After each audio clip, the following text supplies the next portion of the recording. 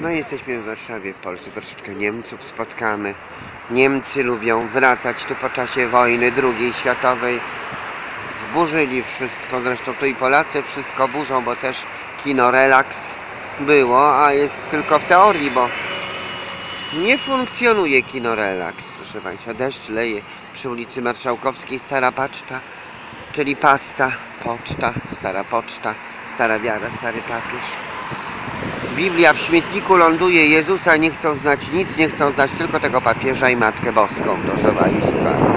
Ojcze, ojcze, to co mówił Jezus, żeby nie mówić ojcze. Rabbi, rabbi, to co mówił Jezus, bo tu też e, system e, żydowski, to co mówił Jezus, żeby nie czynić, to nie czynił.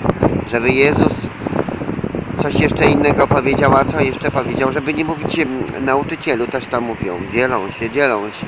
Także Biblia w śmietniku, proszę Państwa, a Jezusowi powiedzieli lekarzu, lekarzu, po co Ty nam potrzebny? Oni go zabili 2000 lat temu. Teraz papieże czczą. Lekarzu, lekarzu, ulecz samego siebie, ulecz, a w ogóle to zejdź z krzyża.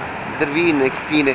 Także proszę Państwa, tutaj do Polski, tutaj do Europy Jezus Chrystus drugi raz to by się nie, nie chciał pokazać w Polsce, a czy w Europie, a czy tu w centrum wydarzeń, wtedy kiedy Jezusa byli, żyli, zabili, proszę Państwa, no bo już raz to zrobili, czekając aż 4000 lat. Stara wiara, stary papież, stary tramwaj, stara pasta, stare kino relaks, ulica Złota, proszę Państwa.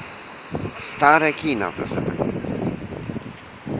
A dzisiaj 30, 31, proszę Państwa. Piękne mamy audycje w naszym radiu tak FM Eurokoncita, Barbie, Baby, Langstrom Extra. Pary o 6 stycznia, no bo tutaj widzicie Państwo, nie ma ani mormonów, ani jednej pary mormonów, nie ma ani prawosławnych, ani ewangelików, ani świadków Jehowy.